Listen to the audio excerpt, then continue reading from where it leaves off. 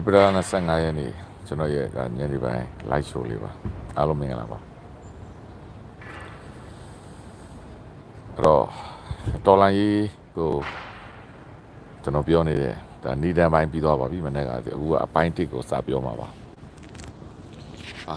ဦးနေဦးတော်လိုင်းကြီးကဒီနေ့ရောက်လက်ရှိရောက်နေတဲ့အနေအထားမှာစည်ရရကျွန်တော်တို့ကဥဆောင်နေတာပေါ့နော်စည်ရရအားလုံး collaborate လို့ခေါ်တဲ့အားလုံးပူးပေါင်းဆောင်ရွက်မှုတွေကနေ coordination ကနေစုပူးပေါင်းဆောင်ရွက်မှုတွေမိဖက်နေရနေပြီးတော့စည်ရေးကိုဦးဆောင်နေကြတယ်အဲ့တော့နေဦးတန်လိုက်တော်လိုင်းရေးမှာရည်မှန်းချက်နှစ်ခုရှိတော့နော်အဓိကကနိုင်ငံရေးရည်မှန်းချက်ရည်စီမံချက်ရည်အဲ့တော့အဲ့နှစ်ခုလုံးကအပြန်အလှန်အပြန်အလှန်ရှိနေတာအဲ့တော့နိုင်ငံရေး ရည်မှန်းချက်ဘယ်လောက်ပဲကောင်းကောင်းနိုင်ငံရေးကဘယ်လောက်ပဲအောင်မြင်အောင်မြင်စစ်ရေးရည်မှန်းချက်မရရင်လေမအောင်မြင်သလိုစစ်ရေးပဲလောက်ရည်မှန်းချက်ကောင်းကောင်းနိုင်ငံရေးရသဘောတူညီချက်မရဘူးဆိုရင်လေကျွန်တော်တို့ဒီမအောင်မြင်နိုင်ဘူးဒါပေမဲ့ကျွန်တော်တို့တိုင်းပြည်ကိုစစ်တပ်ကဒီစစ်အာဏာရှင်တွေကအတင်းကျပ်လက်နက်နဲ့ဒီမတရားလို့အုပ်ချုပ်နေတာအာဏာရှင်စစ်စံအုပ်ချုပ်နေတာဖြစ်တဲ့အတွက် ဘလောက်ပဲနိုင်ငံရေးကောင်းကောင်းဘလောက်ပဲစူးစူးစဲမှုကောင်းကောင်းစစ်ရေးရသူတို့ကိုမဖယ်ရှားနိုင်ဘူးဆိုရင်လေကျွန်တော်တို့ဘာမှရှေ့ဆက်သွားလို့မရဘူးအဲ့တော့အရေးကြီးတာကပို့ပြီးတော့စစ်ရေးရဖြစ်နေတယ်ဒါပေမဲ့စစ်ရေးရဖယ်ရှားပြီးသွားရင်လေအဲ့ဒီစစ်ရေးရဖယ်ရှားတဲ့နေရာမှာနိုင်ငံရေးရပူးပေါင်းဆောင်ရွက်မှုမရှိဘူးဆိုရင်တယောက်တစ်ပေါက်ဖြစ်နေပြီးတော့ဒီဒီစစ်ရေးရပူးပေါင်းဆောင်ရွက်မှုမှာဒီလူချင်းတဲ့ပန်းနိုင်ကိုမရောက်ဘူးဆိုတာလေကျွန်တော်တို့ဒီမြဝတီမှာလက်တွေ့တွေ့လေရပြီ အဲ့တော့စီးရေးရပူးပေါင်းဆောင်ရွက်ဖို့ကနိုင်ငံရေးရပူးပေါင်းဆောင်ရွက်မှုမပါဘဲနဲ့ဘယ်လိုမှစီးရေးရမအောင်မြင်နိုင်ဘူးဆိုတာမျိုးဒေါ်လာရေးမှာအခုလက်ရှိမြဝတီမှာကျွန်တော်လက်တွေ့မြဝထထင်တွေ့လိုက်ရပြီစီးရေးရတော့တိုက်ရှင်ကြတယ်ဒါပေမဲ့စီးရေးပြီးတဲ့ချိန်ကျရင်နိုင်ငံရေးရရက်တီချက်ဖြစ်တယ်သူတို့ဒီသူတို့ရဲ့အကျိုးစီးပွားနဲ့ဒီဒီ online မတရားစီးပွားရေးကိုဆက်လုပ်ခြင်းတဲ့လူတွေကတော့ဘယ်လိုမှကျွန်တော်တို့သွားခြင်းတဲ့ဒီမိုကရေစီစနစ်နဲ့ သွားခြင်းတာမဟုတ်တာဖြစ်တဲ့အတွက်ဘယ်လိုမှစည်ရည်မှာပူပေါင်းဆောင်ရွက်လို့မရပဲအခက်အခဲတွေဖြစ်သွားစေတာအဲ့တော့ကျွန်တော်ຫນွေဦးတော်လာရေးကအဓိကအချက်ကစည်ရည်နဲ့နိုင်ငံရေးပူပေါင်းဆောင်ရွက်မှုပဲဒါပေမဲ့စည်ရည်နဲ့နိုင်ငံရေးပူပေါင်းဆောင်ရွက်မှုမှာကျွန်တော်တို့ဘယ်လောက်ထိအဆင့်တွေရောက်ခဲ့သလဲဆိုတာကိုကျွန်တော်တို့သေချာမသုံးသပ်ရင်လက်ရှိအနေအထားမှာဘိုလ်လူကိုအပြစ်ပြောဒီလူကိုအပြစ်ပြောဘိုလ်လူကိုအပြစ်တင်ဒီလူကိုအပြစ်တင်နေ ဂျားတွေကနေပြီးတော့ကျွန်တော်တို့ဒီစီလုံးညီညွတ်မှုပြိုကွဲသွားပြီးဆေးအာနာရှင်ကပဲအခွင့်အရေးရပြီးတော့ကျွန်တော်တို့ကပို့ပြီးတော့ကြုံသက်ရှိတာပဲအဖတ်တင်ပါအဲ့တော့လက်ရှိရှိနေတဲ့အနေအထားအခင်းချင်းကိုကျွန်တော်တို့ကမကွယ်မဝှက်ပဲပြက်ပြက်တသားသုံးသပ်ဖို့လိုပြီအဲ့တော့တတ်ဆိုင်ရာအဖွဲ့အစည်းတွေကတော့သူတို့ရဲ့အမြင်တွေသူတို့ကသူတို့ရှိမယ်ဒါပေမဲ့ကျွန်တော်တို့ဘေးလူအမြင်ကတော့ဒါဘာတွေရှိတယ်လဲဆိုတာ ကျွန်တော်နိုင်ငံသူနိုင်ငံသားအားလုံးအမှန်အတိုင်းတူတည်မုံလေအနိဆက်ဆုံးဝေဖန်သုံးသပ်နိုင်မှသာလင်ဘာဖြစ်နေလဲဆိုတာသိမှကျွန်တော်တို့ကဘာလုပ်လို့ရမလဲဆိုတာကိုစဉ်းစားလို့ရမှာတူတည်မုံရင် NUG ကိုအပြစ်ပြောလိုက် NUCC ကိုအပြစ်ပြောလိုက်တိုင်းရင်းသားတွေအပြစ်ပြောလိုက် BGA ကိုအပြစ်ပြောလိုက် AA ကိုအပြစ်ပြောလိုက်ရိုဟင်ဂျာတွေကိုအပြစ်ပြောလိုက်စကိုင်းဖွဲ့တွေကိုအပြစ်ပြောလိုက်အချင်းချင်းအပြစ်ပြောလက်ညှိုးထိုးနေပြီးတော့အဲ့ဒီအဲ့ဒီအဲ့ဒီကွဲကွဲချောင်းကနေပြီးတော့ ရန်သူဘက်ကအကြိုက်ဖြစ်ပြီးတော့ဝင်ရောက်ပြီးတော့တက်ရှိုတာတွေတွေးထိုးတာတွေနဲ့ပို့ပြီးတော့စီလုံးညီညွတ်မှုပြိုကွဲစေပြီးကျွန်တော်တို့ပန်းတိုင်ကိုပိုဝေးစေမှာပဲဖြစ်တယ်အဲ့တော့အနေထားကစီးအရှိန်အရမ်းမြင့်လာပြီအဲ့တော့စီးအရှိန်အရမ်းမြင့်လာတဲ့အခါမှာအကျိုးစီးပွားတွေပါလာပြီအဲ့တော့သူငကိုရှိနေတဲ့အကျိုးစီးပွားတိုင်းသွားမှလားသူတို့ရဲ့ရွေချက်အစ်စ်ကပါလေ သူတို့ရဲ့ရွေချက်ပန်းတိုင်ကပါလေဆိုတာအခုကျွန်တော်တို့မြဝတီတိုက်ပွဲမှာကျွန်တော်ရှင်းရှင်းလင်းသိလိုက်ရတယ် BGF ကဘတော်မှသူရရှိနေတဲ့ဒီလောင်းကစားနဲ့ရတဲ့ဝင်ငွေနဲ့သူသူထိန်းထားတဲ့သူ့ရဲ့တက်အင်အား8000ဆိုတဲ့တက်အင်အားဒါတော့သူသတင်းရကျွန်တော်ပြောတာเนาะကျွန်တော်လည်းတိကျမသိဘူးအဲပြီးတော့သူထိန်းထားတဲ့ရွှေကုတ်ကိုရစီးပွားရေးအနေထားဒီ online တရုတ်စီးပွားရေးလုပ်ငန်းတွေအနေထားကိုသူဘယ်တော့မှမစွန့်လွတ်နိုင်ဘူးအဲ့တော့ကျွန်တော်တို့ကျွန်တော်တို့ ကျွန်တော်တို့ဒေါ်လာရင်းနဲ့ပေါင်းရင်ဒီအချက်တွေအားလုံးကိုသူစွန့်လွတ်ရမှာဖြစ်တဲ့အတွက်သူ့အတွက်ဒီစစ်အာဏာရှင်နဲ့ပေါင်းတာအကျိုးနဲ့ရှိမယ်လို့သူဆုံးဖြတ်လိုက်တာဖြစ်တဲ့အတွက်သူစစ်အာဏာရှင်နဲ့နောက်ဆုံးလက်တွဲလိုက်တာပဲထိုနည်း၎င်းပဲကိုကန့်အနေထားကလည်းကျွန်တော်တို့ ਨੇ သွားရင်သူကျွန်တော်သွားခြင်းနဲ့ဒီမိုကရေစီစနစ်ကိုသွားလို့ရမှာမဟုတ်ပဲသူသွားခြင်းတဲ့ပုံစံအတိုင်းပဲအခုဒီနေ့ဆိုရင်ဒါဒီသေတံချမှတ်တဲ့အဆင့်တွေကိုလူလူသိရှင်ကြားပေါ်တင်ကြီးလုပ်နေတာဒီတွေ့ရတယ်။ထုံနည်း၎င်းပဲ အေးအေးလဲထုံနည်း၎င်းပဲဖြစ်နိုင်တာပဲ။ကျွန်တော်တို့နဲ့ပေါင်းရင်ဒီ Federal စနစ်ကနေပြီးတော့ဒီအများသဘောတူနိုင်ငံရေးဆွေးနွေးပွဲကနေသွားတဲ့အဆင့်ကိုမရောက်ပဲသူ့ဒေသကိုသူရရှိပြီးသူကြိုက်တဲ့ပုံစံနဲ့အုပ်ချုပ်မဲ့ပုံစံနဲ့စစ်ရေးအသာနဲ့အနိုင်ယူထားတဲ့ပုံစံလေးဖြစ်သွားနိုင်တာပဲအဲ့တော့အဲ့ဒီအနေအထားတွေအားလုံးကြည့်လိုက်ရရင်ကျွန်တော်တို့ဟာတကယ်ထိုးနေလကောင်ရှမ်းပြည်နယ်မှာပေါ့ရှမ်းမြောက်မှာ တန်ပလောင်ပဲဖြစ်ဖြစ်ဒုတိမဟုတ်ဒီရှမ်းမှာရှိတဲ့ရှမ်းတောင်ပဲဖြစ်ဖြစ်ရှမ်းမြောက်ပဲဖြစ်ဖြစ်ဒီလိုအနေအထားတွေကိုတွေ့နေရတာပဲအဲ့တော့နောက်ဆုံးသူတို့ကဘုံရန်သူကိုတိုက်ဖို့အတွက်ဆက်အာနာရှင်ကိုတိုက်ဖို့အတွက်တော့အတူတူဝိုင်းတိုက်မယ်ဒါပေမဲ့သူတို့သူတို့ရဲ့ဒီဆောက်တဲ့အကျိုးစီးပွားကတော့သူတို့သဘောနဲ့သူတို့လုပ်မယ်ဆိုတဲ့အပုံစံမျိုးတွေဖြစ်လာနိုင်တော့မယ်အခင်းကျင်းမျိုးကြီးကိုကျွန်တော်တို့ကတွေ့နေရပြီအဲ့တော့ အဲ့ဒါမျိုးတွေ့လာရတဲ့အတွက်ကျွန်တော်တို့ဒီနိုင်ငံရေးရဘုံသဘောတူညီချက်ဖြစ်တဲ့ဖွဲ့စည်းပုံအခြေခံဥပဒေဆိုတာကြီးကိုလည်းအခုဒီမရေးဆွဲနိုင်သေးဘူးအကြောင်းမျိုးပြနေပြီးတော့သဘောတူညီချက်မရပဲရှေ့ဆက်သွားလိုက်တဲ့ခါကျရင်နောက်ဆုံးကျတော့စစ်အာဏာရှင်ကတော့ကင်းစင်သွားမယ်စစ်အင်အားသာတဲ့နေရာမှာကင်းစင်သွားမယ်စစ်အင်အားမသာတဲ့နေရာမှာစစ်အာဏာရှင်စနစ်ကကြံခဲ့မယ်အဲ့ဒီအနေအထားကိုလည်းမြင်နေရပြီပြောချင်တာကစစ်အာဏာရှင်ဒီစစ်အင်အားသာတဲ့ဒေသတွေမှာတော့ပူပေါင်းဆောင်ရွက်မှုတွေနဲ့လက်ဦးမှုရယူပြီးတော့ သူတို့လွတ်မြောက်မှုတွေရသွားနိုင်တယ်အခုထိဒီစစ်ရေးရမလုဆောင်နိုင်သေးတဲ့ဒေသတွေမှာတော့ကြံခဲ့အောင်ပါအဲ့ဒါမျိုးအနေအထားတွေကလည်းတွေ့နေရပြီအဲ့တော့ဒါဆိုရင်အဲ့ဒါကိုအားလုံး coordinate ပုံစံနဲ့စုပေါင်းပုံစံနဲ့ဥဆောင်နေတဲ့အနေအထားမှာကျွန်တော်တို့အားလုံးအားကိုးခဲ့တာကရှင်းပါတယ်เนาะကျွန်တော်တို့ဒီမြို့တော်လိုင်းကြီးဖြစ်လာတဲ့အချိန်တွေမှာကျွန်တော်တို့ဒီ မြို့သားညီညွတ်ရေးအစိုးရကိုဖွဲ့စည်းပြီးမြို့သားညီညွတ်ရေးအစိုးရကနေကျွန်တော်တို့ကအားလုံးကိုတွားမယ်ဆိုတဲ့အခင်းကျင်းကနေတွားခဲ့ကြတာအဲကနေမှ CRPH ဖွဲ့တယ် CRPH ကအဲ့ဒီအချိန်ဖြစ်လာတဲ့အချိန်မှာဆေးအာနာရှင်ကိုဒါရိုက်စူးစီးနိုင်တာက CRPH ပဲဘာလို့လဲဆိုတော့သူကလောလောဆယ်လက်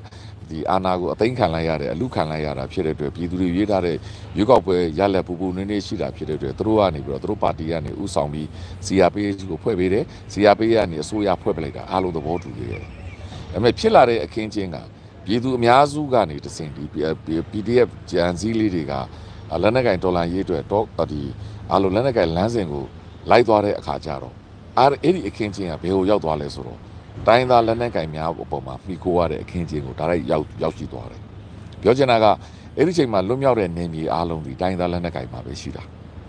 အဲ့ဒီကနေအနေထားကနေပြီးတော့လက်နက်ကင်မှုတွေဖြစ်လာတယ်လက်နက်ကင်မှုတွေဖြစ်လာပြီးတော့လွတ်လပ်တဲ့ဒီလက်နက်ကင်အဖွဲ့အစည်းတွေမဖြစ်တော့ဘဲတဲ့တိုင်းသားတွေများနဲ့အတူတကွအတူတကွနေရတဲ့လက်နက်ကင်အဖွဲ့အစည်းအဖြစ်ကိုပဲအသွင်ပြောင်းသွားတယ်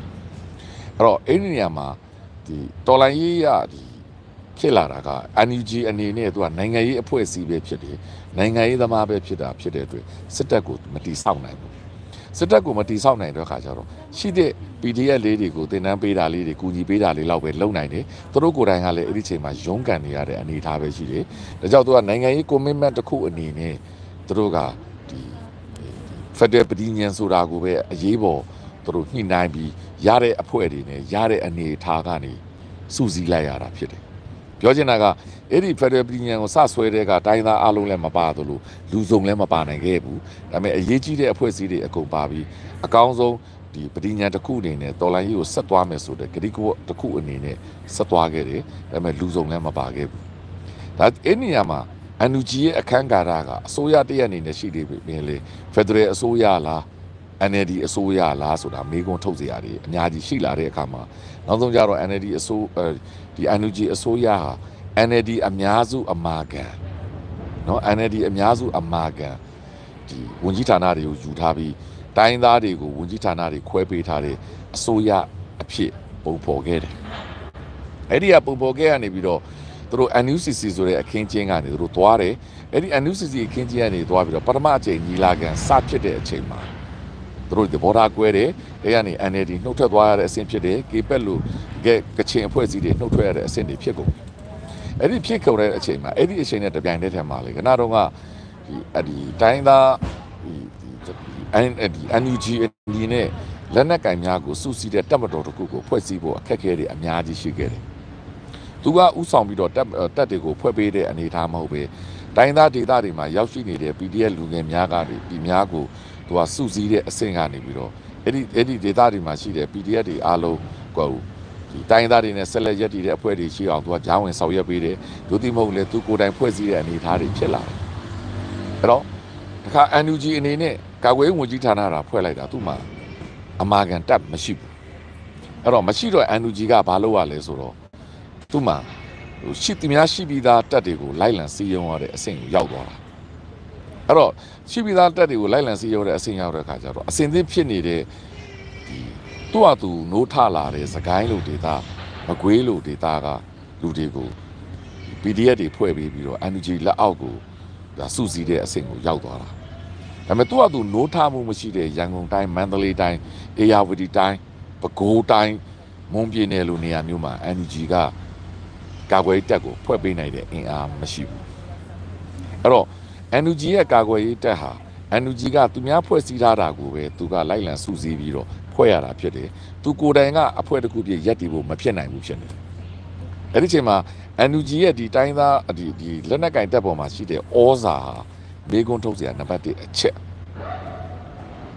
ဖြစ်သွားပြန်အဲ့တပြိုင်နက်တည်းမှာပဲစောစောတုန်းကဒီ Federal ပဋိညာဉ်အရာဆက်သွားမယ်ဆိုတဲ့အနေအထားကနေသဘောထားကွဲလဲမှုတွေဖြစ်တယ် ဝဲမှုတွေဖြစ်ပြီးတော့ NLD ကလည်းနှုတ်ထွက်သွားတယ် NLD ကလည်း CPC အဖွဲ့ကနေတစ်စင်နှုတ်ထွက်သွားပြီးတော့အဲ့ဒါနဲ့မအီမေလနဲ့သူတို့နိုင်ငံရေးဆွေးနွေးပွဲက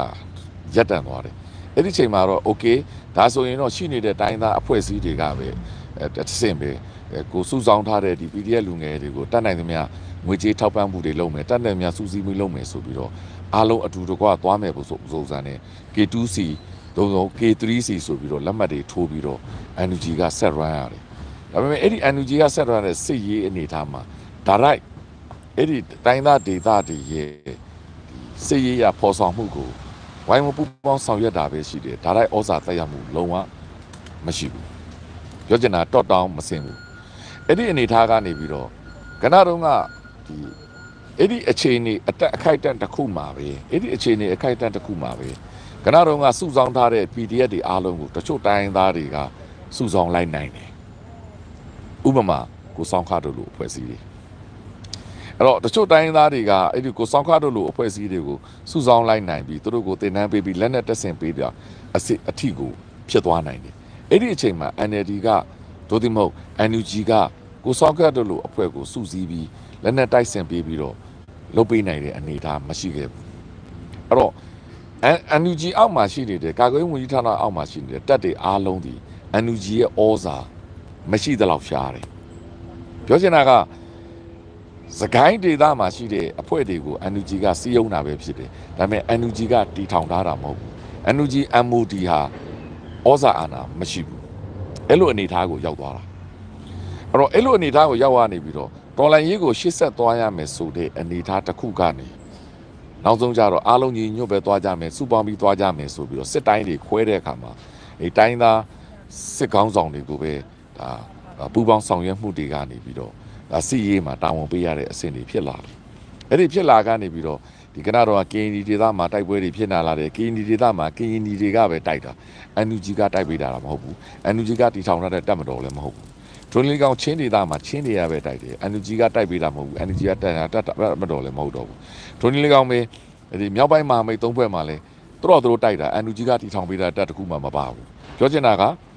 ဒီ NUG ရဲ့ဩဇာအောက်ကသွားတာမဟုတ်ပဲခဏတော့ PDF တွေတပူပေါင်းတာရှိတယ်စောစောတုန်းကတခြား local PDF တွေတခြားအဖွဲ့အစည်းတွေပူပေါင်းတာရှိတယ်ဒါပေမဲ့ NUG ကာဝေးဝန်ကြီးဌာနအောက်ကနေပြီးစစ်စင်ရေးကိုသွားတာမဟုတ်ပြန်ဘူးထိုနည်း၎င်းမဲ့အေးတိုက်ပွဲတွေဖြစ်လာလို့လေထိုနည်း၎င်းကိုပဲတွေ့ရတယ်အေးကသူ့နီးသူ့ဟာနဲ့ပဲအကောင့်တွေဖော်တာ NUG အောက်ကနေသွားတာမဟုတ်သလို NUG မှလည်းဘာဩဇာတက်ရောက်မှုမှမရှိဘူးထိုနည်း၎င်းမဲ့အခုတောင်ပိုင်းတိုင်းမှာစစ်စင်ရေးတစ်ခုဖြစ်လာတဲ့အခါမှာလေသူ့ဟာသူ ဒီကရင်ချင်းချင်းကနေဒါဒီစစ်စင်ရေးတွေပေါ်ပြီးတော့အဲ့မှာရှိတဲ့အဖွဲ့အစည်းတွေနဲ့ပူးပေါင်းဆောင်ရွက်မှုကနေသွားတယ် NUG ကဒါရိုက်ဘာဩဇာတက်ရောက်မှုမှမရှိဘူးသို့တော့ဒီစစ်စင်ရေးမှာ chain of command လို့ခေါ်တယ်အဲအဲ့ဒီဘ ਹੁ ကွက်ကဲမှုကနေတော့စစ်စစ်ရေးဘယ်လိုလုပ်မယ် view ဘယ်လိုချထားလာဆိုတော့ဆွေးနွေးညှိနှိုင်းတိုင်ပင်မှုရှိမယ်ဒါလိုက် NUG ကနေဖြစ်တဲ့ကာကွယ်မှုခြေတံကဒါလိုက်ဩဇာတက်ရောက်စွာနဲ့ဒီစစ်စစ်ရေးတွေကိုကွဲနေတာမဟုတ်ဘူးအဲ့တော့အဲ့လို အဲ့လိုမျိုးပြက်ပြက်သားသားအဲ့အဲ့အဲ့မျိုးတွေဖြစ်လာတဲ့အခါကျတော့အဲ့လိုမျိုးတွေဖြစ်လာတဲ့အခါကျတော့ဒီစစ်စစ်ရေးတွေမှာ NUG ရဲ့အနေထားဟာနိုင်ငံရေးအစည်းအရုံးမှုရှိတယ်ဆိုပေမဲ့လေ NUG ကိုရဲ့ဩဇာအာဏာကိုတိုင်းပြည်မှာရှိတဲ့တကယ် stakeholder တွေလို့ခေါ်တဲ့လူတွေကတော့မလေးမစားဖြစ်နေကြပြီပြောချင်တာက NUG ဟာ အမေရိကန်အဖွဲ့အစည်းတစ်ခုလိုအောင်ပဲဖြစ်သွားပြီဖြစ်နေတယ်ဦးလက်ရှိနေတာစစ်ရေးမှာလည်းဘာမှဩဇာမရှိသလိုနိုင်ငံရေးမှာလည်းဘာဩဇာမှမရှိဘူးဘာလို့လဲ NUG ကို NUCC ရဲ့ထိန်းချုပ်မှုအောက်ကနေသူတို့သွားထားတာဖြစ်တဲ့အတွက် NUG ဟာ NUCC ရဲ့ဒီကုတ်ကဲမှုတွေ CRPH ရဲ့ကုတ်ကဲမှုအောက်ကနေပဲသွားနေရတာရှိတယ်အဲ့တော့ NUG ဒီဘယ်အရာကိုမဆိုလောက်ကင်မှုတွေအကုန်လုံးချီတုပ်တင်ခံထားရတယ်ဒို့တော်လေ ပြရုပ်အနေနဲ့တော့ NUG ရဲ့ဥဆောင်မှုအောက်ကနေသွားနေတယ် NUG ကပဲဥဆောင်နေတဲ့ပုံစံလို့ပြောနေပေမဲ့လေတကယ်တမ်းမြေပြင်မှာကိုယ့်ဒေတာကိုယ့်သဘောနဲ့ကိုယ်အားလုံးလှုပ်ဆောင်နေကြတာကိုကျွန်တော်တို့သုံးသပ်လို့ရတယ်အေးအေးလည်းသူ့သဘောနဲ့သူတိုက်နေတာပဲကရင်လည်းသူ့သဘောနဲ့သူတိုက်နေတာပဲမြောက်ပိုင်းသုံးဖွဲ့ကိုကန့်လည်းသူ့သဘောနဲ့သူတိုက်တာပဲ ပြောချင်တာက NUG ကိုအသုံးချသွားတာရှိမယ်တို့ဒီမနွေဦးဒေါ်လာကြီးကိုအသုံးချသွားပြီးတော့သူတို့လိုချင်တာကိုရသွားတာပဲရှိမယ်နွေဦးဒေါ်လာကြီးရဲ့ပင်မဇင်းမြစ်ဖြစ်တဲ့ကျွန်တော်တို့တင်ထားတဲ့ NUG အစိုးရဟာကြားထဲကနေပြီးတော့ဘာမှဩဇာအာဏာလည်းမရှိဘူးဒါပေမဲ့ NUG ကအဲ့ဒါကိုဟန်ဆောင်ပန်ဆောင်အနေနဲ့သူဒီပဲဩဇာအာဏာရှိနေသလိုသူဒီပဲအရာရာကို control လုပ်ထားသလိုသူဒီပဲအရာရာကိုထိန်းကျောင်းထားသလိုလိုလည်းရှိနေပေမဲ့လေလက်ရှိအခင်းကျင်းမှာ အန်ယူဂျီသည်စစ်ရေးမှာဘာဩဇာအာဏာမှမရှိဘူး။ဘာကြောင့်လဲ။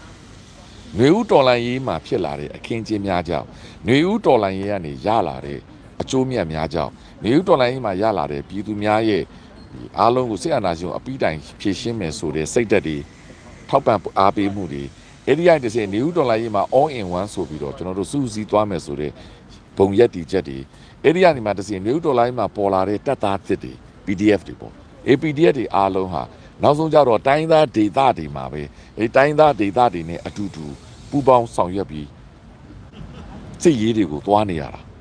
NUG ရဲ့ flow အောက်ကနေသွားလို့မရဘူးဒါဆိုရင် NUG ကအဲ့ဒီအနေအထားကိုပြက်ပြက်သားသားသိတဲ့အခါမှာပြည်သူကိုယ်တာချမပြောတာသူတို့ဒီလက်တွေ့မှာတိုင်းသားတွေနဲ့ပြေလည်အောင်နေပြီးတိုင်းသားတွေအားလုံးရဲ့လိုချင်တဲ့အနေအထားအောက်ကနေပဲဖြည့်ရှင်းပေးနေရတဲ့အနေအထားကိုရောက်သွားတာ ဒါပေမဲ့အပြင်မှာကြတော့ NUG ကပဲအရာရာကိုဥဆောင်ထားသလိုလိုထင်နေရတဲ့လူတွေကြာတခုဖြစ်လာရင် NUG ဘာလုပ်နေလဲဥယျာဉ်မုံဘာလုပ်နေတယ်လဲ NUG ဝန်ကြီးတွေဘာလုပ်နေဒါပေမဲ့လက်တွေ့မြေပြင်အနေထားမှာ NUG ကဘာမှနေရာမရှိဘူးဆိုလိုချင်တာက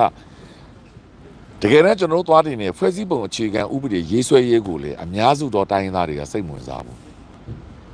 သူတို့ဒီစစ်ရေးကိုပဲစိတ်ဝင်စားကြတာ အများစုသောတိုင်းရင်းသားဟာနေမြေအရင်ရအောင်လုပ်မယ်အခုရနေတဲ့စီးလုံးညွညွတ်မှုကြီးအခုရရှိနေတဲ့အင်အားအခုရရှိနေတဲ့ NUG ကိုပြည်သူတွေယုံကြည်မှုကဘာယုံကြည်မှုအောက်ကနေပြီးတော့စစ်အာဏာရှင်ကိုအမြင့်အမျက်အပြစ်အပြတ်ရှင်းမယ်သူတို့နေမြေတွေသူတို့အရင်ရယူမယ်ဆိုတဲ့ဟာကိုပဲဦးစားပေးသွားတာဘယ်တိုင်းရင်းသားစစ်ကောင်းဆောင်ကမှ Facebook အခြေခံဥပဒေပေါ်ပေါက်ရေးကိုအလေးနဲ့ထားတဲ့ပုံမတွေ့ရဘူးအဲ့ဒီလေးနဲ့ထားတဲ့ပုံမတွေ့ရတဲ့အတွက် NUCC မှာလည်းအဲ့ဒီတိုင်းသားကောင်းဆောင်တွေမပါကြဘူး အဲ့ဒီ NUCC ကိုလည်းဒီတွန်းတွန်းတက်တိုက်နဲ့ဒီဖွဲ့စည်းပုံအခြေခံဥပဒေရေးဆွဲဖို့ကိုလည်းဘယ်သူမှမပြောဘူး။ဘာဖြစ်လို့လဲဖွဲ့စည်းပုံအခြေခံဥပဒေရေးဆွဲသွားရင်ဒါတွေကကတိကဝတ်ဖြစ်သွားမှာဖြစ်တဲ့အတွက်အဲ့ဒီအောက်ကနေ Federal အစိုးရအောက်ကနေပြီးတော့စီမံခန့်ခွဲလို့သွားတဲ့ခါကျရင်အခုလိုသွားမဲ့စစ်ရေးအနေအထားတွေအခုလိုသွားမဲ့နေမြေရရှိမှုကိစ္စတွေအခုလိုသွားမဲ့စစ်ပြန်ဆုတ်တဲ့ကိစ္စတွေအားလုံးဟာအားလုံးသဘောတူညီမှုအောက်နေသွားမယ်ဆိုတော့ commitment တွေဖြစ်သွားမှာဖြစ်တဲ့အတွက်အဲ့ဒီ commitment တွေမပေးခင်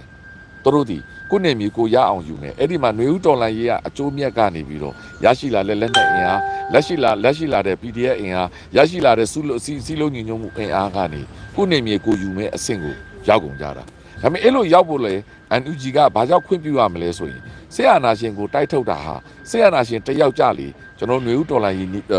ပြီးဆုံးမှုတရက်တရက်နီးလာတွေဖြစ်တဲ့အတွက်ဘယ်ဒေသမှာဘသူကပဲတိုက်တိုက် ဆေးအာနာရှင်ကိုတိုက်မယ်ဆိုရင်ဒီတိုက်ရင်တပ်ဖွဲ့တွေကိုသိမ့်မယ်ဆိုရင်အားပေးကူညီရမယ်ဆိုတဲ့မူဝါဒအောက်ကနေအန်ယူဂျီကတော့အားလုံးနဲ့ဘယ်သူကပဲတိုက်တိုက်တတ်နိုင်တယ်များပံ့ပိုးကူညီမယ်တတ်နိုင်တယ်များလက်နက်ကင်အဖွဲ့အစည်းတွေကိုယ့်အောက်မှာရှိနေတဲ့ PDF ပဲဖြစ်ဖြစ်ဒုတိမဟုတ်တကယ်လက်နက်ကင်ထားတဲ့အဖွဲ့အစည်းတွေပဲပူးပေါင်းဆောင်ရွက်မယ်ဆိုတဲ့မူဝါဒအောက်ကပဲသွားနေရတာတကယ်တော့တကယ်တော့ NUG မှာဘာအာဏာမှမရှိဘူးစစ်ရေးမှာဘာအာဏာမှမရှိဘူး အဲ့တော့တိုင်းသားတွေအားလုံးအများစုဆုံးလူများအားလုံးအေးအေးအပါဝင်မြောက်ပိုင်းသုံးဖွဲ့အပါဝင် KNU အပါဝင်ကချင်အပါဝင်ဝအပါဝင်နိုင်ငံရေးအဆွေးနွေးမဲ့ Facebook အခြေခံဥပဒေကိုလုံးဝစိတ်မဝင်စားဘူးသူတို့အများစုစိတ်ဝင်စားနေတာကဝပုံစံဒေတာကိုပဲလိုချင်တာဒါကြောင့်လေသူတို့ဒေတာကိုသူတို့တိုက်ဖို့ပဲစူးစမ်းနေကြတာသူတို့ဒေတာကိုသူတို့ရဖို့ပဲစူးစမ်းနေကြတာဒါဆိုရင် NUG ကအဲ့ဒါကိုဘာလုပ်ရမလဲ NUG မှာအရေးအကြီးမားဆုံးအားနည်းချက်ဒီ NLD ကဥဆောင်နေတာကိုဖယ်ရှားပေးမှရတော့မှာအခုကျွန်တော်ဒါဒီနိဒန်ဒါဒီအပိုင်းတစ်ကိုကျွန်တော်ပြောနေတာเนาะကျွန်တော်ဒါအပိုင်းတစ်ကဒါကောက်ချက်အနေနဲ့ပြောနေတာပြီးကျွန်တော်အသေးစိတ်တွေအများကြီးလာအောင်မယ်ဒါအပိုင်းတစ်မှာဒါအပေါ်ယံပေါ့ဒါနိဒန်အနေနဲ့ကောက်ချက်တွေပေးနေတာ conclusion ပေါ့ဒါပေမဲ့အဲ့ဒါတွေဘာကြောက်လဲဆိုတာနောက်ပိုင်းအသေးစိတ်တွေလာမှာပါနောက်အပိုင်းတွေမှာလာမှာပြောချင်တာက NUG ဟာရှင်းရှင်းပြောရင်ဒီ NLD ကနေပြီးတော့ဒီအာဏာယူထားတဲ့လူတွေအကုန်လုံးဖယ်ပေးရတော့မှာ NLD ကအစုဖွဲ့တယောက်အနေနဲ့ဝန်ကြီးတပါးပဲယူတင်တာ channel လူအားလုံးဒီတိုင်းသားခေါင်းဆောင်တွေနဲ့ NUG ကိုပြန်ကိုဖွဲ့ရတော့မှာအဲ့ဒါဆိုရင်အဲ့တိုင်းသားခေါင်းဆောင်တွေက NUG မှာ Federal အစိုးရအနေနဲ့တကယ်ပါလာပြီးဆိုရင်အခုဖြစ်နေတဲ့စီအားလုံးအမိတ်အားလုံးဒီသူတို့သဘောတူညီချက်မရပဲသူတို့ဒေသကိုကိုစားမပြုတ်တာဖြစ်တဲ့အတွက်တိုက်ပွဲတွေလည်းသွားလို့ရတယ်လို့နေမြေခွဲဝေတွေလုပ်လို့မရတော့ဘူး ပြောချင်တာကအခုက NUG ဟာ NLD ဥဆောင်တဲ့လူအများစုနဲ့ဒီတိုင်းသားအ ਨੇ စုပါပေမဲ့လေတကယ်တမ်းက NLD ကပဲဥဆောင်နေတာပြောချင်တာကဗျာဒီမင်းတို့နိုင်ငံရေးရမင်းတို့ကြိုက်တာလို့အဲ့နိုင်ငံရေးရလက်ကနေငါတို့စုပေါင်းညီညွတ်မှုကနေစေရေးရနေငါတို့ဒေသတွေငါတို့အရင်ရအောင်တိုက်မယ်ဆိုတဲ့ပုံစံနဲ့သွားနေတဲ့ပုံစံတွေတချို့တွေမှာမြင်နေရပြီအဲ့တော့အခုအကောင်းဆုံးအနေထားဒီ NLD NUG ကိုပြပြသားသားပြန်ဖွဲ့ရတော့ အဲ့ဒီ NLD မှာ NUG မှာ NLD တစုတစ်ဖွဲ့အနေနဲ့ပဲပါတင်တယ်တကယ်တမ်းတိုင်းတနိုင်ငံလုံးမှာဒီကစစ်ရေးရအရေးကြီးတဲ့ကချင်ကောင်းဆောင်တွေကရင်ကောင်းဆောင်တွေရခိုင်ကောင်းဆောင်တွေကရင်နီကောင်းဆောင်တွေချင်းကောင်းဆောင်တွေမွန်ကောင်းဆောင်တွေရှမ်းကောင်းဆောင်တွေပို့ကောင်းဆောင်တွေက NLD မှာ NUG မှာအစိုးရကက်ဘိနက်ဝန်ကြီးတွေဖြစ်ဖို့လိုအပ်နေပြီဒါမှသာလျှင်ကျွန်တော်တို့ all in one ပုံစံနဲ့ကျွန်တော်တို့ရဲ့ဗဟိုအစိုးရရဲ့ဩဇာတက်ရောက်မှု လူလေးစားမှုအမိတ်ပေးနိုင်မှုဒါတွေရှိတော့မှာအခု NUG ကအမိခံပဲဖြစ်နေတာဘယ်သူမှမလေးစားဘူး NUG ကိုဝိုင်းပြီးလက်ညှိုးထိုးကြမှာပဲရှိတယ်အပြစ်ပြောကြမှာပဲရှိမယ်ဒါပေမဲ့ NUG ကလက်တွေ့မြေပြင်မှာ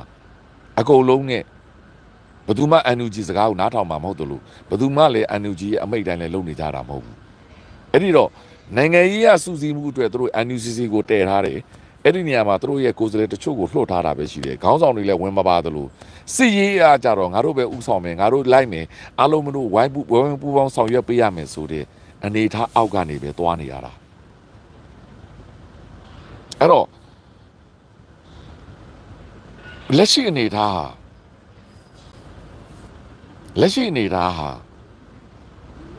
သူဒေသနဲ့သူဖြစ်နေတဲ့အနေအထားများကိုအေးဒေသအတွင်းမှာကိုဖြည့်ရှင်းရမှာတယ်အများကြီး ဥပမာကရင်ဒေသမှာဆိုရင်အခုအဓိကပြောတဲ့ KNU တက်တွေရှိတယ် KNL BGF တက်တွေရှိတယ် DKBA တက်တွေရှိတယ်ပြီးတော့ခဏတော့ဟာဒီအာ KTL လို့ခေါ်တယ်ကိုတူလေးအာမီလို့ခေါ်တယ်ဗိုလ်ချုပ်နဒါမြဦးဆောင်တဲ့တက်တွေရှိတယ်အဲ့ဒီတက်တွေအချင်းချင်းကတော့သူတို့မှာ commitment သဘောတူစာချုပ်တွေရထားပြီးသားသူတို့ဒီသူတို့အချင်းချင်းရောကင်းပြင်းတွေကိုဘယ်လိုတိဆောက်မယ်ဆိုတာသဘောတူထားပြီးပြီလားသူတို့အချင်းချင်းရဲ့စစ်အင်အားတွေဘယ်လောက်ရှိသလဲ သူတို့အချင်းချင်းကရော NUG မှာကိုစားပြုတဲ့လူဘယ်သူပါတယ်နံပါတ်1ချက်ရခိုင်ဒေသမှာ AA ကဥစစ်ရေးဥဆောင်တယ်အဲ့ဒီ NUG မှာ AA ကိုစားပါတဲ့လူရှိနေပြီလားရိုဟင်ဂျာကိုယ်စားလှယ်ကတော့ရှိနေပြီဒုဝန်ကြီးပါနေတယ်ထားပါတော့ကချင်မှာကချင်ကိုယ်စားလှယ် NUG မှာအဓိကနေရာမှာရောက်နေပြီလား NUG မှာကချင်ကိုယ်စားတယောက်တော့ရှိတယ်ဒါပေမဲ့အရေးအရေးမပါတဲ့ဝန်ကြီးဌာနမှာရှိနေတယ် ထိုနည်း၎င်းကရင်နီးက NUG မှာတကယ် main ဝန်ကြီးဌာနမှာပါနေပြီလားထိုနည်း၎င်းပဲရှမ်းကပါနေပြီလားချင်းကပါနေပြီလားအဲ့တော့မင်းတို့ကတော့ကွာအစိုးရအနေနဲ့မင်းတို့ကမလို့ရက်တီငါတို့ကတော့ငါတို့ကတော့ငါတို့ငါတို့ပြည်နယ်တွေငါတို့တိုက်မယ်ကွာအခြေတန်ကျရင်ငါတို့ Federal Unit တွေမဲ့ယူမယ်လို့ပြောနေပြောနေတဲ့ဟာက commitment အနေနဲ့သဘောတူညီချက်တွေအကြမ်းပြင်းတော့ရှိထားတာတော့မှန်တယ်ဒါပေမဲ့လက်တွေ့မှာတိုင်းပြည်ကိုဥဆောင်တဲ့အစိုးရတစ်ဖွဲ့မှာ အားလုံးကိုကိုစားပြုတဲ့လူမပါဘူးအားလုံးကလည်းအဲ့ဒီအစိုးရကိုစကားကိုနားမထောင်ဘူးဆိုရင်နောက်ဆိုဒီနိုင်ငံရေးရစူးစီးမှုကဘာမှအလုပ်မဖြစ်တော့ဘူးနိုင်ငံတကာမှာပြရုပ်နေရတော့ပြလို့ကောင်းတယ် NUG အစိုးရပြည်သူထောက်ခံတယ်ဒါပေမဲ့လက်တွေ့အနေထားမှာ NUG ရဲ့ဩဇာဘယ်မှမရှိဘူးထုံးနည်းကောင် NUCC ရဲ့ဩဇာလည်းဘယ်မှမရှိဘူးထုံးနည်းကောင် CRPH ဩဇာလည်းဘယ်မှမရှိဘူး အားလုံးဒီအချင်းချင်းပုတ်ခတ်နေကြပြီးကြောင်ထိုးခံထားရပြီးအလုံးမဖြစ်တော့ပဲတကယ်တမ်းမြေပြင်မှာတကယ်တိုက်နေတဲ့တကယ်ဆုံးဖြတ်နေတဲ့စစ်ရေးရဆုံးဖြတ်နေဘူးမှလေညာပရီဖြစ်စဉ်ဟာဒီဖြစ်စဉ်မှာဒီတော်လန်ရေးကြီးကိုလုပ်တယ်ဒီဒေသမှာတိုက်နေတဲ့အခါမှာဘယ်လိုကိုမတ်မတ်နေတဲ့ဒီဒီတိုက်ပွဲကိုဝင်နေကြတယ်လေဘယ်လိုဆုံးဖြတ်ကြမလဲဆိုတာမျိုးကိုအန်ယူဂျီကလည်းအမိတ်ပေးနိုင်တယ်လို့မရှိသလိုအန်ယူဂျီကသိလားမသိလားလည်းဘယ်သူမှမသိဘူးထိုနည်းလည်းကောင်းမယ်အေးအေးမှာဖြစ်နေတဲ့ကိစ္စ အေးအေးရပဲဆုံးဖြတ်မှဖြစ်နေတယ်ကချင်မှာဖြစ်နေတဲ့ကိစ္စကချင်ရပဲဆုံးဖြတ်မှဖြစ်နေတယ်ဒါဆိုရင်ဘယ်မှာလဲဖက်ဒရယ်အစိုးရဘယ်မှာလဲဗဟိုကနေပြီးတော့အားလုံးသဘောတူညီချက်တဲ့စိတ်ရည်စီမံချက်အားလုံးသဘောတူညီချက်တဲ့လှုပ်ရှားမှုတွေအဲ့ဒါမျိုးတွေမရှိပဲအကွဲကွဲပြားပြားဖြစ်နေတာဖြစ်တဲ့အတွက်အခုလိုဒီစစ်စင်ရေးတစ်ခုကမပီမပြင်းနဲ့သွားစစ်စင်ရေးလှုပ်လိုက်တဲ့အခါမှာအချိန်တန် BJ ကတစ္ဆာလည်းဖောက်ကောအခုအားလုံးဒုက္ခရောက်ကုန်ကြပြီ ထိုးလေးလေးကောင်တခြားဒေသတွေမှာလည်းအများကြီးဖြစ်နိုင်တာပဲဒါကြောင့်ဒီတော်လိုင်းတစ်ခုလုံးကိုကျွန်တော်တို့ပြန်သုံးသပ်မယ်ဆိုရင် NUG ဟာအားလုံးအမြင်မှာတော့အစိုးရတာဖြစ်တယ်အမှန်ကတော့အမိခံအစိုးရတာဖြစ်နေတယ် NUG ကို PDF တွေလည်းမလေးစားဘူး NUG ကိုစကိုင်းမှာရှိတဲ့လက်နက်ကင်တွေလည်းမလေးစားဘူး NUG ကိုတိုင်းသား EAO တွေလည်းမလေးစားဘူး NUG ကိုလက်နက်ကင်ထားတဲ့ဘယ်သူမှမလေးစားဘူး BGF လည်းမလေးစားဘူး သူတို့အားလုံးကြောက်နေတာစစ်ကောင်စီပဲဖြစ်တယ် BGF ကြောက်နေတာလည်းစစ်ကောင်စီပဲတိုင်းသားလက်နက်ကင်တွေအားလုံးလေးကြောက်နေတာလည်းစစ်ကောင်စီပဲ NUG မဟုတ်ဘူးအဲ့တော့အဲ့လိုအနေထားကနေ NUG ဟာအမိခံတော်လန်ရေးအတွက်အမိခံဂျားကန်အဖွဲ့အစည်းတစ်ခုသာဖြစ်နေတယ်အဲ့ဒါကဒီတော်လန်ရေးမှာအဓိကအဟံတာပဲအဲ့တော့ NUG နေရလေသူ့အနေထားကိုသူသိတယ်သူ့အနေထားကိုသူသိတာဖြစ်တဲ့အတွက်အကောင်းဆုံးသူဒီ ညှိနှိုင်းပေးတယ် coordination လုပ်ပေးတယ်ဖြည့်ရှင်းပေးတယ်သူ့မှာရှိတဲ့အင်အားလေးတွေနဲ့သူဒီစုဆောင်းပေးတယ်ရှာဖွေပေးတယ်ထောက်ပံ့ပေးတယ်ဒါပေမဲ့လက်တွေ့မြေပြင်အနေထားမှာနိုင်ငံရေးအရဘာစုစည်းမှုမှမရှိဘူးကျွန်တော်တို့ချပြနိုင်တဲ့အခြေခံသဘောတူညီချက်တစ်ခုမှမရှိဘူးပြောချင်တာက ဒီ Federal ပဋိညာဉ်ကိုတော့အားလုံးလက်မှတ်ထိုးထားရဲ့လားပြောချင်တာကအဓိကအခုစစ်ပွဲမှာတိုက်နေတဲ့အဖွဲ့တွေလက်မှတ်ထိုးထားရဲ့လားမှကိုကန့်လို့ထိုးထားသလားအေးအေးထိုးထားသလားဝထိုးထားသလားကရင်ထိုးထားသလား BGF ထိုးထားသလားကော်တူလီအာမီထိုးထားသလား KND ထိုးထားသလားချင်းထိုးသားလားဥချင်းမှာဆိုနှစ်ဖွဲ့ဖြစ်နေပြီအဲ့ဒီလူတွေထိုးထားသလားရှမ်းတောင်ထိုးသားလားရှမ်းမြောက်ထိုးသားမွန်ထိုးထားသလားအဲ့တော့တော်လိုင်းရေးကနိုင်ငံရေးနဲ့စစ်ရေးနှစ်မျိုးသွားမှာ အဲ့တော့ကိုဖွဲ့လာတဲ့အစိုးရကိုယ်တိုင်ကလူမလေးခေဘယ်သူမှမလေးမစားဖြစ်နေပြီဆိုရင်ဒီတော်လိုင်းရေးကိုကျွန်တော်ရှေ့ဆက်ဘယ်လိုဆက်သွားကြမလဲဒါဆိုရင်လေးစားနိုင်တယ်အားလုံးလေးစားနိုင်တဲ့အစိုးရဖြစ်တစ်ခုဖြစ်အောင်ကျွန်တော်တို့ပြည်ပြင်ဖော်ထုတ်ဖို့အချိန်မကျသေးဘူးလား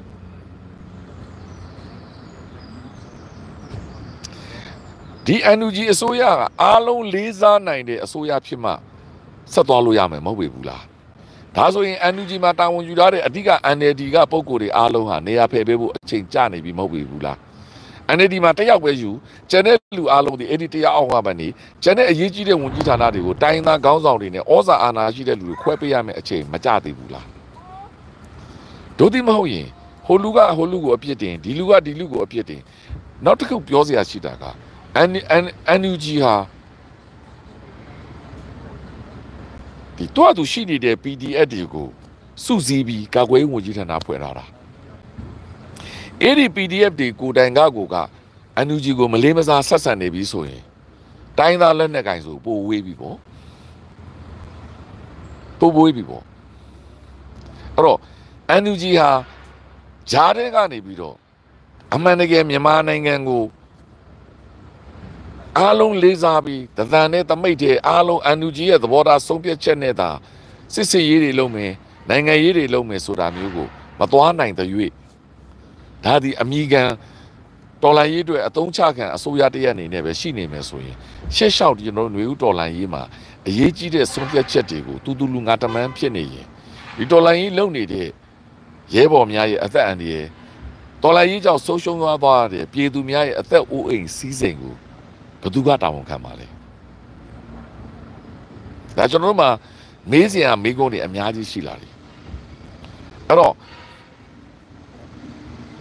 ဆိုလိုချင်တာကလက်ရှိအနေအထားမှာ NUG ဘယ်ဟာလဲဘယ်လဲ NUG ဘယ်အနေအထားမှာရှိနေသလဲလက်နက်ကင်စစ်ပွဲမှာကောတိုင်းသားတွေကဘာလဲဘယ်လဲဘယ်နေရာမှာရှိနေပြီလဲဒါတွေအားလုံးကိုပြီးတော့ NUCC ဘာလဲဘယ်လဲ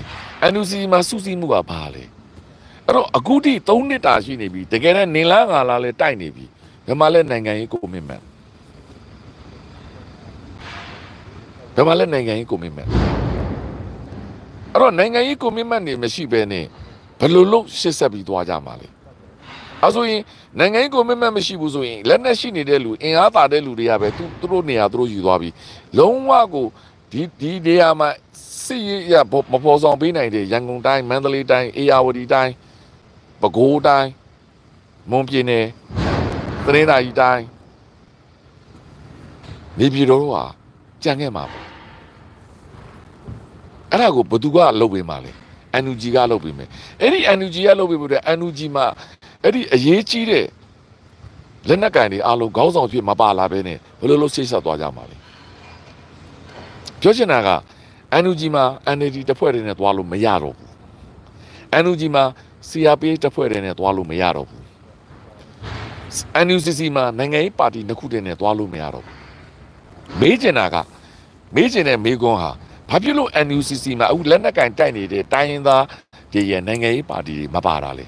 ပြောချင်တာ AA မှာလည်းနိုင်ငံရေးပါတီရှိရမှာပဲကချင်မှာလည်းနိုင်ငံရေးပါတီရှိရမှာပဲကရင်မှာလည်းနိုင်ငံရေးပါတီရှိရမှာပဲချင်းမှာလည်းနိုင်ငံရေးပါတီရှိရမှာပဲ ပြီးတော့ကနတော့ကရင်နီမှာလည်းနိုင်ငံရေးပါတီအဲ့ဒီနိုင်ငံရေးပါတီတွေကတနိုင်ငံလုံးနဲ့အရေးကြီးတဲ့ဒီဒီ NUCC လို့ခေါ်တဲ့အမျိုးသားဒီဖွဲ့စည်းပုံအခြေခံဥပဒေရေးဆွဲရေးမှာဘာဖြစ်လို့သူတို့ကိုစားပါတီတွေကို NUCC မှာမပို့ထားတာလဲဘာလို့ပါတီတွေမထောင်ကြတာလဲပြောချင်တာကသူတို့ကိုယ်တိုင်ကနိုင်ငံရေးကိုမြင့်မဲ့မလိုချင်ဘူးလားဒါမေးစရာမေးကောတခါအဲ့ဒီ NUCC မှာပဲအဲ့ဒီလက်နက်ကတကယ်တိုက်နေတဲ့လူတွေကဘာကြောက်ကိုယ်စားလှယ်တွေမပါတာလဲ ဘာကြောက်ဒီဖွဲ့စည်းပုံအခြေခံဥပဒေရေးဆွဲရေးကိုထိတိကျဝင်မပါနေကြတာလဲတခါ NUCC မှာပဲပြည်နယ်ကိုစားပြုတွေဘာကြောင့်မပါတာလဲအဲ့တော့ဒါတွေအားလုံးဒီကျွန်တော်တို့အဖြေရှာရမယ့်အချိန်ကြပြီအဲ့တော့ NUG ကပဲ NUG ကပဲအကုန်လုံးခေါင်းဆောင်နော်ငါတို့ကပဲအရာရာအစိုးရဖြစ်တယ်ဆိုပြီးဟန်ဆောင်ပန်ဆောင်နဲ့လုတ်ပြနေရမယ်အချိန်လည်းမဟုတ်တော့ဘူး ဘာဖြစ်လို့ NU NUG ကတနိုင်ငံလုံးကိုကိုစားပြုတဲ့အစိုးရလို့ဒါဆိုတယ်လက်တွေ့မှာဘာဩဇာမှမရှိဘူးဘယ်သူမှလည်းမလေးစားဘူးအဲ့တော့မေးစရာမေးခွန်းက BGF ကအခုလိုဟိုဘက်ပေါင်းရတဲ့ကိစ္စကို NUG ကသိသလားမသိတော့ဘူးဝင်ပါလို့လည်းရမှာမဟုတ်အေကအခုဒီစစ်စင်ရေးတွေလုပ်နေပြီးတော့အေကဒီလိုပုံစံနဲ့ဆက်ဆံမှာကို NUG ကအေက NUG ကိုပြောသလားပြောမှလည်းမဟုတ်ဘူး ကချင်စစ်စင်ရေးတွေလည်းပြောမှလည်းမဟုတ်ဘူး NUG ဟာသူတို့ကပဲလူတကာကိုလိုက်ပြောနေရတာသူတို့ကိုဘယ်သူမှသတင်းပို့မှလည်းမဟုတ်ဘူးအဲ့တော့ဒါဆိုရင်ဥကျွန်တော်တို့အားလုံးထိုးချနေတဲ့ NUG အသုံးမကျဘူးဥယျာဉ်မွန်အသုံးမကျဘူးဘာအသုံးကျဖို့သူတို့လည်းဘယ်သူမှလည်းမလေးစားဘူးဘယ်သူမှလည်းသတင်းမပေးဘူးဘယ်သူမှလည်းမဖြစ်ဘူးဆိုရင်ဘာဆက်လုပ်ကြမှာလဲဒါဆိုရင်ဒီ NUG ကြီးဟာတကယ်စစ်အာဏာရှင်ကိုကျွန်တော်တို့ရှင်ပြိုင်တိုက်နိုင်တဲ့တနိုင်ငံလုံးက ပြည်သူတွေအားလုံးပါတဲ့အစိုးရဖြစ်နေပြီလားမဖြစ်ဘူးဘာကြောက်လဲ NLD NLD ကနေ NUG ကိုဖွဲ့ထားတယ်ဆိုပေမဲ့လေအဲ့ဒီရွေးကောက်ပွဲရလက်က2020မတိုင်ခင်ကတော့မှန်တယ်ဆရာနာရှင်ကိုဝိုင်းတိုက်ဖို့အတွက် NLD ကိုပါတီအနေနဲ့မဲပေးလိုက်တာအခုအခင်းချင်းမှာ NLD ပါတီကိုဘယ်သူမှမဲပေးမှာမဟုတ်တော့ဘူးတနိုင်ငံလုံးကဒါဆိုရင် NLD ပါတီရဲ့ကိုစားပြုမှုသည် တနိုင်ငံလုံးကိုကိုစားပြုတဲ့ Federal အစိုးရမှာမိကုန်ထုတ်เสียရှိနေပြီအဲ့တော့ NUG ကို UTB ကစားမယ်ဆိုရင် NUG မှာဘာကြောင့်အခုတကယ်တိုက်နေတဲ့တောင်းပလောင်ဖက်က NUG မှာပါသလားကိုကန့်ကပါသလားဘာလို့သူတို့ကလည်းမပါကျင်တာလဲအဲ့တော့သူတို့ကသူတို့ပြည်နယ်အတွက်ပဲစိတ်ဝင်စားတာလား တနိုင်ငံလုံးပြောင်းလဲဖို့အတွက် Federal အစိုးရမှာတာဝန်ယူပြီးတနိုင်ငံလုံးကိုစားကိုကန့်ကလည်းကရင်အတွက်စဉ်းစားပေးမယ်ပိုးအိုးကလည်းကရခိုင်အတွက်စဉ်းစားပြီးမယ်ရခိုင်ကလည်းချင်းအတွက်စဉ်းစားမယ်ဆိုတဲ့ Federal အစိုးရမှာအားလုံးတာဝန်ယူကြပြီးတနိုင်ငံလုံးအတိုင်းအတာနဲ့ဝိုင်းဝန်းပကုံးချင်းရှင်ကြဖို့မစဉ်းစားတော့ဘူးလားပကုံးချင်းပကုံးပေါ်မှာတာဝန်ခွဲယူယူဖို့မစဉ်းစားကြတော့ဘူးလား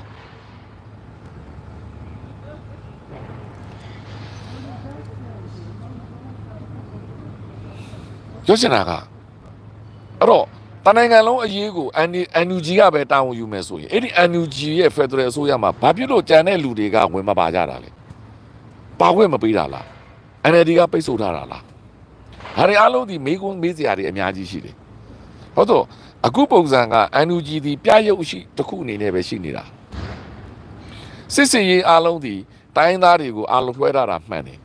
ဒါပေမဲ့အဲ့ဒီစစ်စင်ရေးလုပ်တဲ့နေရာမှာ ဟိုတယောက်တစ်ပေါက်ဖြစ်နေတဲ့ကိစ္စကိုဘယ်လိုဖြေရှင်းကြမှာလဲဘယ်လိုစူးစီးကြမှာလဲအဲ့တော့အကြံပြင်းအပိုင်းတစ်ကိုညီကုန်းချုပ်ရမယ်ဆိုရင်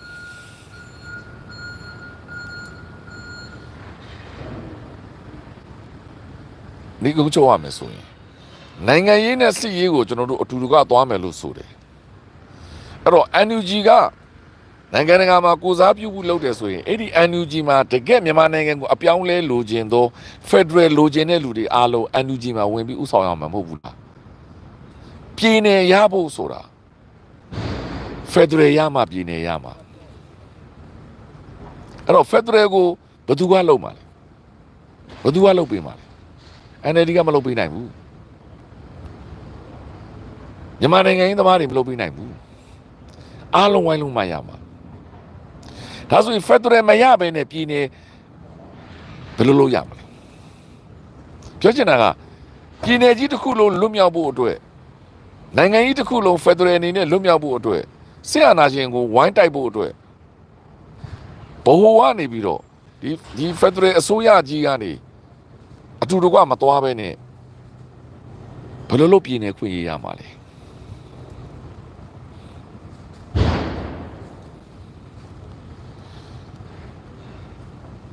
ဘ ယ်လိုရမှာလဲအဲ့တော့ဒီတိုင်းသားတွေအားလုံးပြေမကောပြေတွင်းကောလက်နက်ကင်မဲ့လူတွေအားလုံးပူပေါင်းပါဝင်တဲ့ဖက်ဒရယ်အစိုးရကြီးလိုနေပြီအဲ့တော့အဲ့ဒီဖက်ဒရယ်အစိုးရရဲ့ဆုံးဖြတ်ချက်တာအတီးဆိုပြီးတော့စုပေါင်းအင်အားနဲ့တွားဖို့အချိန်ကြပြီဒါမှသာလင်ကျွန်တော်တို့ဒီ very compact ဖြစ်တဲ့ စစ်အာဏာရှင်တမိတ်တဲ့အောက်ကနေတစုတစ်ဖွဲ့တည်းသွားနေတဲ့စစ်အာဏာရှင်ကိုကျွန်တော်တို့တိုက်ထုတ်လို့ရမှာဒါဒီကျွန်တော်ရဲ့အပိုင်းတက်ပါအဲ့တော့ NUG ဒီအမိခံတာဖြစ်တယ် NUG ဒီအတုံးချခံတာဖြစ်တယ်ဘာကြောင့်လဲ NUG မှာဘာအာဏာမှမရှိဘူး ညှိနှိုင်းပေးနေရတာပဲရှိတယ်အဲ့ဒီအနေထားကြောင့်လေနိုင်ငံတကာက NUG ကိုအသိမှတ်မပြုတ်ပေးသေးတာအဲ့ဒီကြောင့်မဟုတ်ဘူးဘာလို့အခုယိုဒီယာဖြစ်စဉ်ကရင်ဖြစ်စဉ်မှာယိုဒီယာက NUG ကိုစည်ရင်းနေတော့မထည့်ဘူးကရင်နဲ့ပဲတိုက်စကားပြောတာတရုတ်က NUG ကိုစည်ရင်းနေတော့မထည့်ဘူးမြောက်ပိုင်းမဟာမိတ်နဲ့ပဲစကားပြောတာ NUG မှာမြောက်ပိုင်းမဟာမိတ်တာပါတယ်ဆိုရင်တရုတ်က ဟေးငါတို့နဲ့လာမပြောနဲ့ NUG နဲ့တိုက်ပြောဖြစ်သွားမှာ NUG မှာကရင်အဖွဲ့အစည်းတွေအကုန်ပါတယ်ဆိုရင်ဟေးငါတို့နဲ့လာမပြောနဲ့ NUG နဲ့ပြောတယ်ဖြစ်သွားမှာအခုက NUG ဟာအမိကန်အဖွဲ့အစည်းဘယ်သူကမှမလေးစားပဲနဲ့ဟန်ဆောင်ပန်ဆောင်နဲ့ NUG ကပဲအာဏာရှိနေသူတို့လိုဟန်ဆောင်နေရတဲ့အနေအထားကနေအရှိအတိုင်းဖွင့်ချဖို့အချိန်ကြပြီ။ဘာကြောင့်လဲ။ ဒါမှသာလေစူးစီးညီညွတ်တဲ့ဥဆောင်မှုအောက်ကနေသွားမှာ။အဲ့တော့နိုင်ငံရေးရဥဆောင်လို့ NUCC မှာပါတာလက်ခံတယ်။အစိုးရမှာလည်းပါဖို့လိုတယ်။အဲ့တော့အစိုးရအဖွဲ့မှာတကယ်တိုက်နိုင်ခိုက်နိုင်ဆုံးဖြတ်ချက်ချနိုင်နေမြေခွဲဝင်နိုင်တဲ့လူတွေကဒီအစိုးရမှာမပါပဲနိုင်ငံရေးသမားဆိုတဲ့ NLD ကလူတွေပဲဥဆောင်နေတာဟာလက်တွေ့မှာ အလုံးမဖြစ်တော့ဘူးဆိုတာအခုလက်ရှိသွားနေတဲ့အခင်းချင်းများရာတွေ့နေရပြီပြောချင်တာကစစ်အင်အားသာတဲ့လူလက်နဲ့အင်အားသာတဲ့လူကစစ်ကောင်စီကိုနိုင်ပြီးနေမြေရသွားမှာပဲဒါပေမဲ့နိုင်ငံရေးကွန်မန့်တွေဖြစ်လာစရာအကြောင်းမရှိဘူးဒါဆိုရင်စစ်ရင်အားပါနေတဲ့ BGF ကို KNU ကမတိုက်ထုတ်နိုင်ဘူးဆိုရင် NUG ကတိုက်ထုတ်ဖို့ဝေးစွာပဲ NUG မှာတက်မှမရှိတာ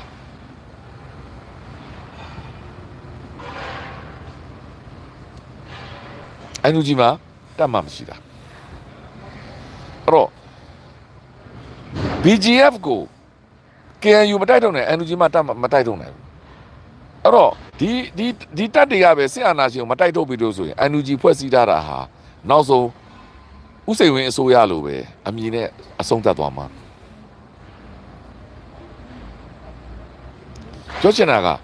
တနိုင်ငံလုံးကစစ်အာဏာရှင်ကိုတိုက်နေတဲ့ တပ်များအားလုံးဒီ NUG အောက်မှာတိုင်းရင်းသားခေါင်းဆောင်များရဲ့အမိတ်ပေးမှုအောက်မှာတစုတစည်းတည်းရှိဖို့အချိန်ကြဖို့ကြနေပြီအချိန်တန်ကြရင်ဒီစစ်အာဏာရှင်ကတစုတစ်ဖွဲ့တည်းရှိနေတာဟုတ်တယ်ကျွန်တော်တို့၃နှစ်တာကာလ၄နှစ်တာကာလမှာပြင်ဆင်ကြရတယ်အခက်အခဲတွေရှိတယ်ဒါပေမဲ့အခုရွေးချယ်တဲ့လမ်းကြောင်းဒီတွားလို့အလုံးမဖြစ်ဘူးဆိုတာသိကြတဲ့သိကြလာပြီအဲ့တော့အဲ့ဒီအနေထားကနေရှေ့လျှောက်ပို့ပြီးတော့ အဲ့ဒီအနေထားကနေရှေ့လျှောက်ပို့ပြီးတော့အခက်အခဲတွေဖြစ်လာနိုင်တယ်မှန်တယ်စစ်ရေးရအောင်မြင်မှုတွေရှိမယ်ဒါပေမဲ့စစ်ရေးရအောင်မြင်မှုတွေကစစ်လက်နဲ့ရှိနေပြီးစစ်တပ်နဲ့တကယ်တိုက်တယ်လူပဲအောင်မြင်သွားတာဒါပေမဲ့အဲ့ဒါကို NUG ကလည်းကိုယ့်အောင်ပွဲအနေနဲ့အောင်ပွဲခံပေးတာပဲရှိတယ်ဒါပေမဲ့တကယ်လက်တွေ့မှာဘာနိုင်ငံကိုမြင်မှမှမရှိပဲအခုလိုမျိုးပฏิပက္ခတွေထပ်ဖြစ်လာရင်အားလုံးပဲနေတာဆုံးရှုံးသွားမှာ အားလုံးမင်္ဂလာပါအားလုံးမင်္ဂလာပါဒါဒီကျွန်တော်ရဲ့အပိုင်းတစ်ပါမင်္ဂလာပါ